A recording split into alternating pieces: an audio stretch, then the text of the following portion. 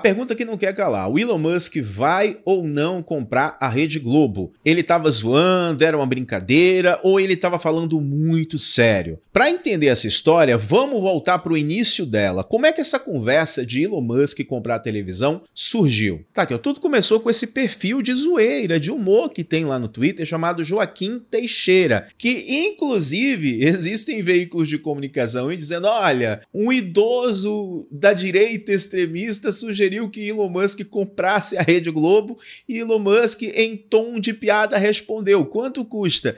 Na verdade, o perfil não se trata de uma pessoa, é um é alguém que está por trás. Provavelmente não é uma pessoa jovem. Prov não é uma pessoa idosa, melhor dizendo. Provavelmente é uma pessoa jovem que está por trás do perfil, mas eles noticiaram como se fosse uma pessoa idosa mesmo que tivesse usando o perfil ali manifestou uma grande satisfação com a Rede Globo e sugeriu que o Elon Musk comprasse. E aí, ele publicou em inglês, né, como vocês podem ver aí, Ó, a maior desgraça do Brasil, estou traduzindo aqui bem resumido para você. Olha, a pior desgraça do Brasil é a tal da Rede Globo. Poxa, o Elon Musk, ele poderia comprar a Rede Globo, mais ou menos mais ou menos isso está escrito aí, né? Se comprasse a Rede Globo, resolveria metade dos nossos problemas e tal. E o Elon Musk mais embaixo, como vocês podem ver, perguntou: "Quanto custa?". A partir daí, a internet ficou alvoroçada. Todo mundo ficou assim se perguntando: meu Deus, o Elon Musk vai comprar a Rede Globo mesmo ou ele estava zoando? Vale lembrar, pessoal, que em alguns momentos o Elon Musk falou brincando. Por exemplo, a compra do Twitter, o Elon Musk meio que deu assim umas brincadeiras antes e teve pessoas que não levou a sério que ele ia comprar o Twitter. A personalidade do Elon Musk, ela traz consigo uma espécie de, de sarcasmo muito bem humorado, no sentido de jogar verde para colher maduro. É, me faça pensar sobre isso. Pô, você tá me dando uma sugestão, então por que, que eu deveria comprar? Hum, me fala a realidade dessa situação aí que de repente pode ser interessante. Então, é nesse sentido que provavelmente, provavelmente não estou dizendo que é, que provavelmente o Elon Musk fez a sua resposta. Ou seja, ele não afirmou que vai comprar, não tem nenhuma certeza que vai comprar, mas deixou no ar que se ele quiser ele pode acordar no outro dia como dono da Rede Globo. Mas de fato, se vai acontecer, vamos voltar para a história ainda, calma. Resultado, meus amigos, este perfil, ele automaticamente, depois que o Elon Musk começou a Uh, depois que essa, esse comentário do Elon Musk começou a reverberar, ele começou a postar aí uma série de brincadeiras, né? Como você pode ver aí, ó. Um dia depois do Ellen Mushen comprar a Globo e esse nome que você tá vendo aí, né? Por causa da minha tweetada. Aí ele botou Alan dos Santos apresentando o Jornal Nacional. Inclusive, quando eu vi isso aí, eu me desgracei de rir, eu ri muito. E até fiz umas brincadeiras de como seria a possível programação da Rede Globo é, caso o Elon Musk comprasse a emissora. Compartilhar aqui com vocês, né? Eu botei o Monark no Bom Dia Brasil. Entendedores entenderão. Quem não entendeu, é só dar uma olhada aí, pesquisa depois aquele vídeo que ele fala: acorda, caralho, acorda, pô. Aí eu botei o Monark no Bom Dia Brasil. Depois eu coloquei o Zé Trovão aí no Globo Rural, bem característico, claro. Depois eu coloquei o encontro com a Nicole, o deputado Nicolas Ferreira aí com a peruca que se tornou um dos memes mais engraçados da internet, na minha opinião. Então, pessoal, ele continuou a postar essa essas coisas, né, voltada à brincadeira do Elon Musk comprar a Rede Globo, mas a coisa ela começou a ficar um pouco mais sério. Essa conversa do Elon Musk comprar a Rede Globo, ela tá se tornando mais séria e tá preocupando a grande mídia. Até porque o pessoal tá comentando: ó, oh, o Elon Musk falou brincando. O Elon Musk falou em tom de zoeira e a extrema-direita entrou ali em delírio e tal. Gente, aquele Twitter do Elon Musk aquele comentário do Elon Musk, tenha absoluta certeza, não foi um comentário em vão. Quem conhece o Elon Musk, quem segue ele há bastante tempo aí como eu, sabe que algumas coisas que o Elon Musk fala é, são de forma estratégicas. O Elon Musk, ele é capaz, para você ter uma ideia, ele é capaz de reformular situações de, de mercados com duas, três palavras que ele escreve no Twitter. Quando ele disse que ia fazer, por exemplo, a compra do Twitter, muita gente não acreditou. Quando ele disse que ia fazer determinadas situações que ele, que ele fez, tal que está envolvendo aí alguns outros negócios, muita gente não acreditou. Então, volta a dizer, isso é uma estratégia do Elon Musk para ver a reação, para ver se isso de fato é interessante para ele ou não. Para ver o quanto o povo brasileiro realmente se interessa por essa ideia. E acredite, se o Elon Musk realmente está interessado no Brasil, além da liberdade de expressão, o Elon Musk está de olho na Globo. Não que ele estava antes, não que ele estava pensando assim, ah, vou comprar a Rede Globo. Não, não, não. Isso nem passou pela cabeça dele. Acredite, aquele tweet, aquele tweet de brincadeira ali, fez ele pensar sobre essa situação. Quanto custa? Conta para mim aí. Afinal de contas, dinheiro não é limite para Elon Musk. Pera aí que a gente vai saber quanto custa a Rede Globo, se o Elon Musk tem ou não condição de comprar e se a Rede Globo vai, vai ser vendida ou pode ser vendida para o Elon Musk. Ó, o Joaquim Teixeira ele começou a postar vários memes em relação a isso, né? Ó, acabei de fazer uma chamada de vídeo aqui com Elon Musk. Ele me garantiu que as manhãs da Globo Lixo voltarão a ser assim. Aí ele botou ali o a chamada, né, a, a, abertura da TV Colosso. Eu não sei se você se lembra da TV Colosso, se você é, é, é jovem assim como eu, se você está aí na casa dos 35 para os 40 anos e tal. Quem é dessa faixa aí deve se lembrar, quem é do grupo de risco se lembra da TV Colosso, que era um dos programas infantis mais sensacionais, na minha opinião, que passava na Rede Globo, passava na televisão em geral, era muito bom. Era um monte de gente vestido com roupa de cachorro que apresentava um programa e tinha desenho, era bem legal. Eu curtia muito a TV Colosso. E ele fez mais postagens inusitadas aí, ó. O mais você, ele colocou aí o mais Zambelli. Aí ele, ele colocou: Eu confesso que o mais Zambelli com o papagaio Elon José é o projeto que mais me animou. Obrigado, Elon Mushen, por comprar a TV Globo. Por que, que ele tá chamando de Elon Mushen? Porque, para quem não sabe, né? Teve um deputado petista que ele foi fazer uma, uma declaração lá no plenário e tal. Falou: olha, tem um vagabundo aí fora que tá se metendo na democracia brasileira, um tal de Elon Mushin. Aí virou meme, a galera não perdoa, você já sabe como é que é a turma da internet do Brasil. Ó, outra zoeira que ele botou aí, Joaquim Teixeira, né? Primeiro dia de trabalho de, é, no novo emprego, ele mostrou o crachá da TV Globo, né? Como diretor executivo. Botou aí o personagem, o cara imprimiu, fez um negócio bonitinho. Eu não sei se foi montagem pro computador, mas ficou bem divertido isso aí. Aí, ó, bom dia, Bostil, na nova Rede Globo do Elon Mushin. Aí colocou aí aquele vídeo do Monark, dizendo acorda, caralho, tal, não sei o quê. Indo pra mais brincadeira. Ah, gente, isso aqui ficou muito legal legal, ó. Meu sócio Elon Musk divulgando a nova logo da, da, da TV Globo. Impossível não se emocionar. Isso aí, pessoal, é um vídeo, né, da, da logo do X, da nova logo do X que o Elon Musk publicou, mas lembra muito aquela, aquelas chamadas antigas da Rede Globo. Eu vou mostrar esse vídeo aqui para vocês. Mas antes, me permita mostrar isso aqui, ó. Final de ano da Globo e esse nome que vocês estão vendo aí, que ele faz um, uma junção e tal, né? Do Elon Mushen. Ficou em choque? Quem não se emocionar já faleceu faz tempo. Já faleceu por dentro. Ele botou aí a Michelle Bolsonaro, o Bolsonaro, o Elon Musk aqui na frente. a Damares Alves lá atrás, cantando aquela música, né? Hoje é um novo dia de um novo tempo que começou. Aí, ó, olha só, essa, essa aqui, gente, eu, quando vi isso aqui, eu me desgracei de rir. Comunicado oficial: informamos que o ator José Maia e o humorista, e o humorista Márcio Smelling voltarão a fazer parte do elenco da nova TV Globo do Elon Musk. Ai, meu Deus. Rapaz, brasileiro precisa ser estudado. O humor do brasileiro é diferenciado, velho. É muito diferenciado. Não é à toa que muitos filmes, muitas séries, quando você assiste no original, não tem tanta graça quando você vê Uh, na dublagem brasileira, né? A dublagem brasileira é uma obra de arte, cara, é maravilhosa, né? Tem muita coisa ruim que os brasileiros conseguiram fazer bom. Por exemplo, ó, é uma opinião pessoal, o filme As Branquelas não é tão bom assim em inglês. Desculpa. Não é. Agora, com a dublagem, velho, deu um tchan aquele filme. É maravilhoso aquele filme. Nova chamada do plantão da Rede Globo. Aprovado. Ele botou o vídeo lá do Elon Musk que eu vou mostrar para vocês agora.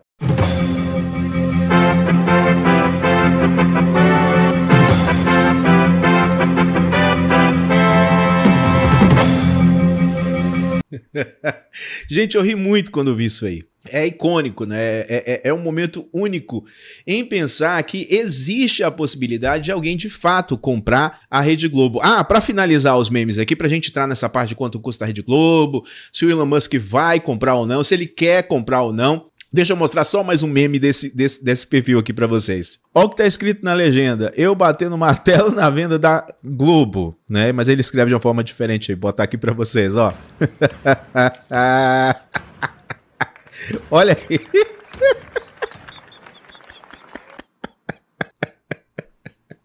Ai, meu Deus, eu dei muita risada com isso. Mas vamos, vamos, vamos um assunto sério, pessoal. O Elon Musk vai ou não comprar a Rede Globo?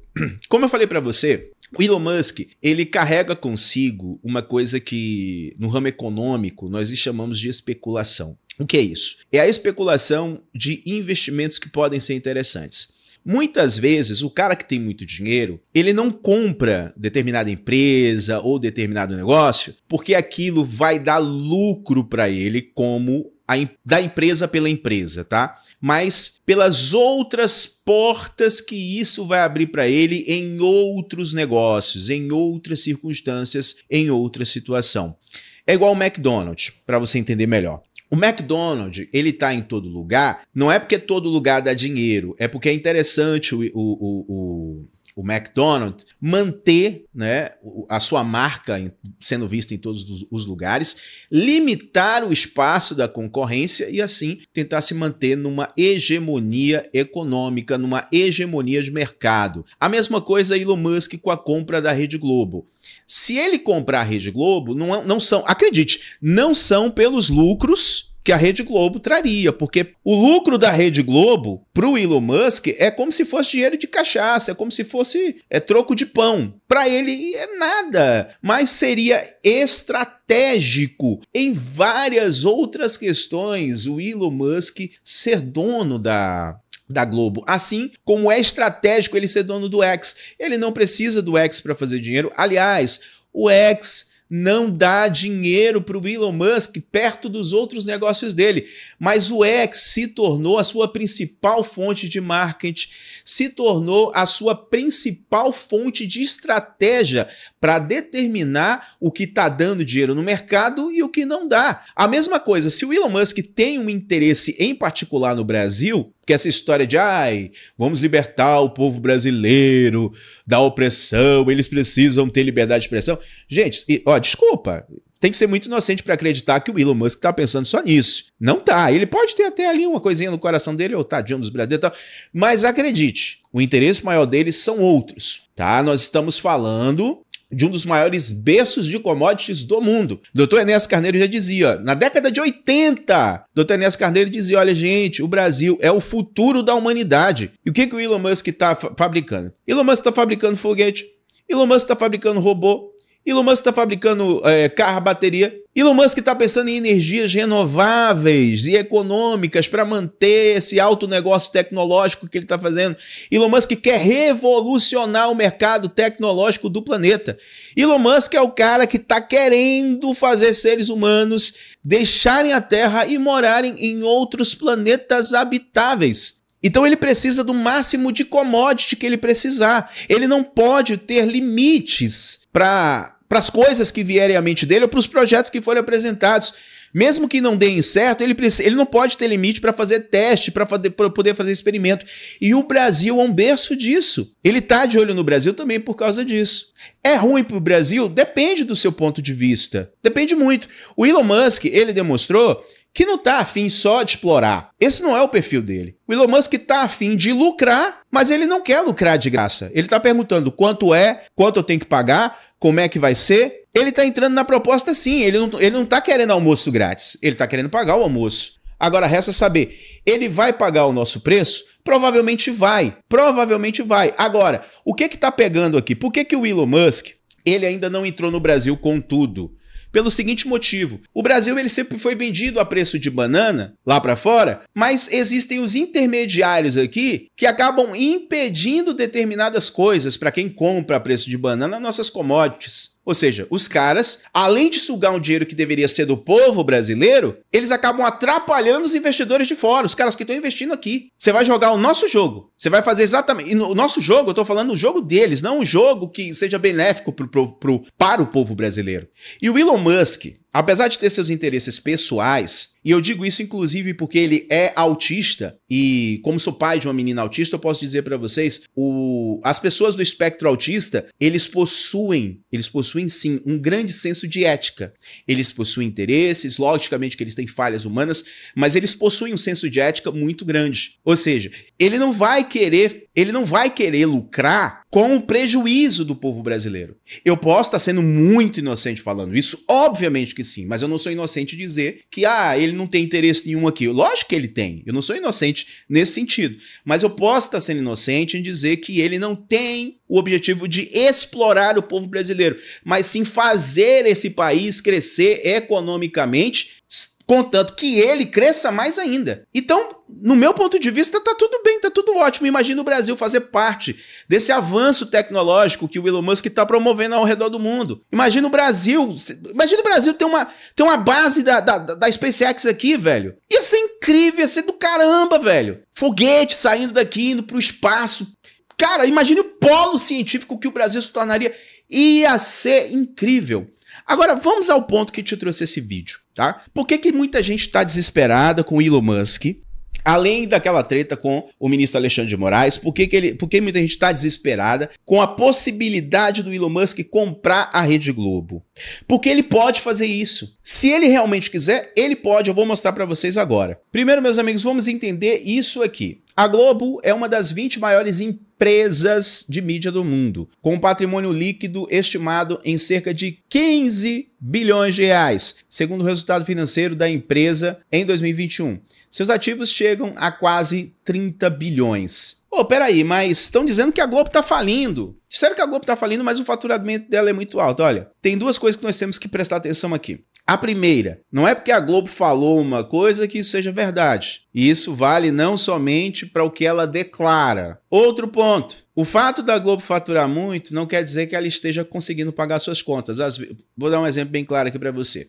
Imagina uma pessoa que antes ganhava mil reais e aí ela começou a ganhar cinco mil.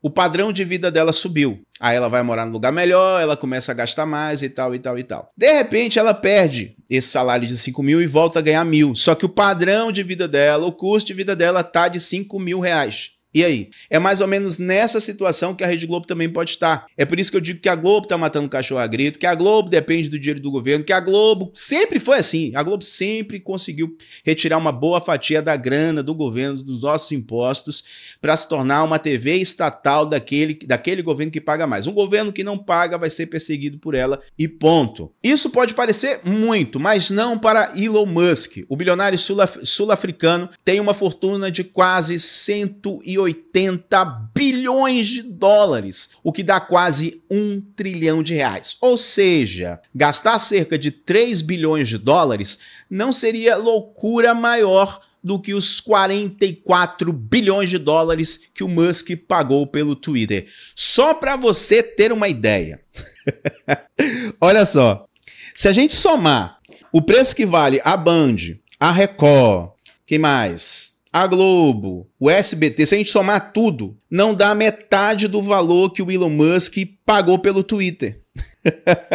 Ou seja, dinheiro para comprar ele tem. Tem e, e sobra. Dinheiro para comprar, comprar a Globo para o Elon Musk é dinheiro de pinga, é dinheiro de troco de pão. Agora, ele vai fazer isso? Foi como eu falei para vocês.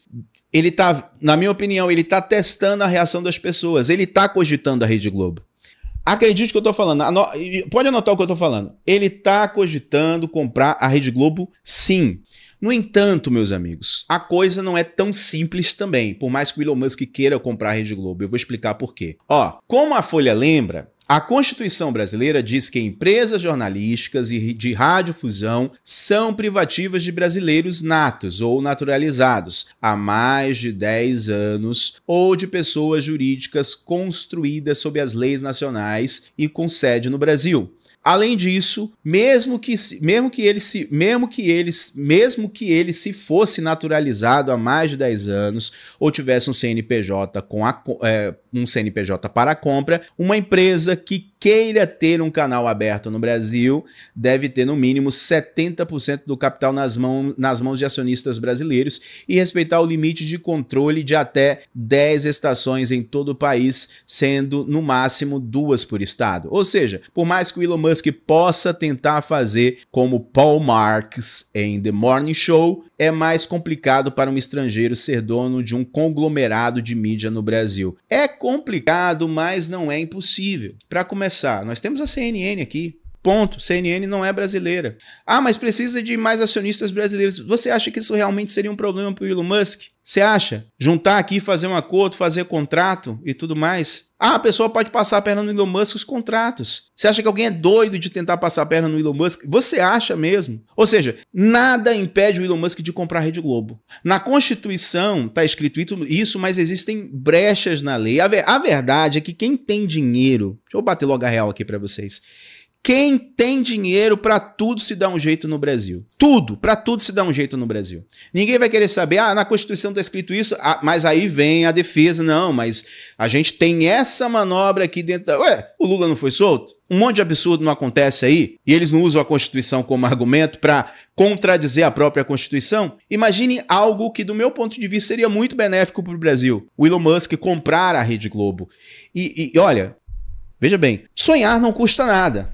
Sonhar não custa nada. Isso seria muito bom para o país. Seria muito bom para o país. Os negócios do Elon Musk virem para cá. Seria muito bom para o país participar de todo esse desenvolvimento de novas tecnologias que estão surgindo. Seria muito ótimo para o Brasil o Elon Musk ser dono da Rede Globo. Olha o Twitter que que virou, velho. O Twitter tá bem melhor do que antes. Essa é que é a verdade. Bom, o vídeo está grande, vou deixar agora vocês opinarem sobre tudo isso aí nos comentários. O que que você acha? O Elon Musk vai ou não vai comprar a Rede Globo? Você quer que o Elon Musk compre a Rede Globo ou não?